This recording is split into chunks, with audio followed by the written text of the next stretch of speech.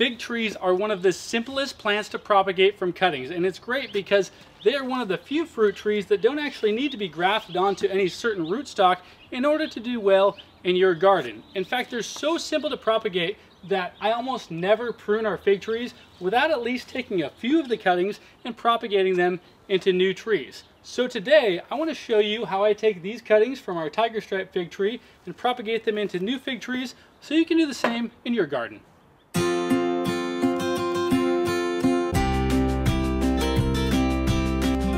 Start by getting my cuttings, and as I said, this is the time of year when I prune our fig trees, so I'm not taking cuttings in a specific way just to get those cuttings, I'm taking the cuttings by making cuts where I want to prune my fig tree, and then I'll just use those leftover cuttings to propagate into new trees. So really I'm just aiming for an outward facing bud, a few buds out from that main stem. That's where I like to prune my fig tree at least to keep it at the size that it is right now.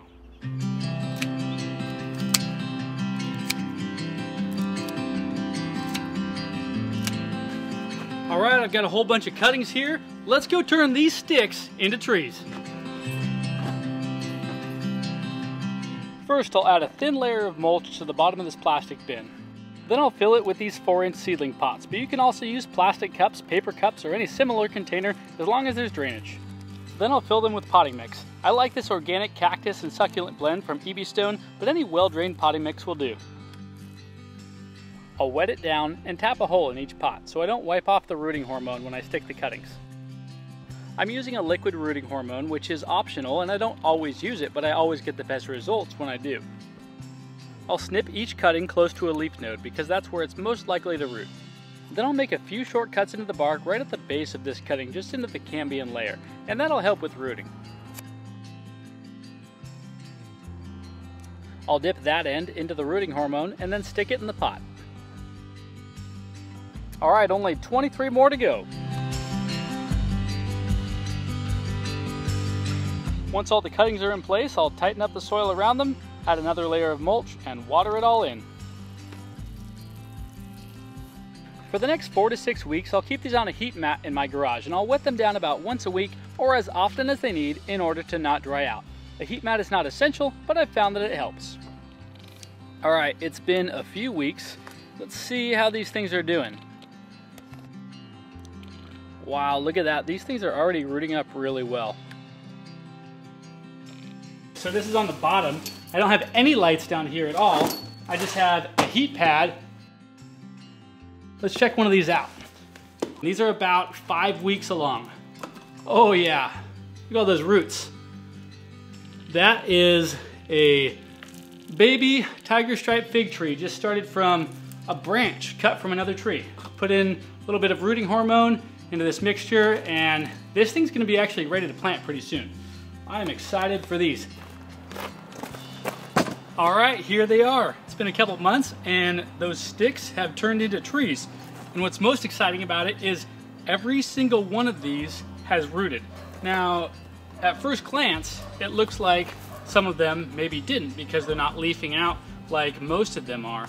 But I can see that the top part of the stem has died back. But below that, if I just scrape the bark, I can see that it still has some green underneath. And furthermore, if I take it out of the pot here, you can see all these roots.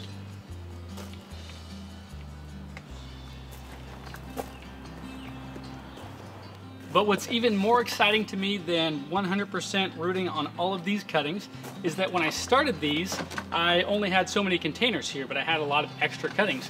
So what I did was I put them in this bucket with some bark and some potting soil and just kind of left them in this bucket. Didn't do much to them. I put them in the garage. They weren't on heat or anything like that. But check this out.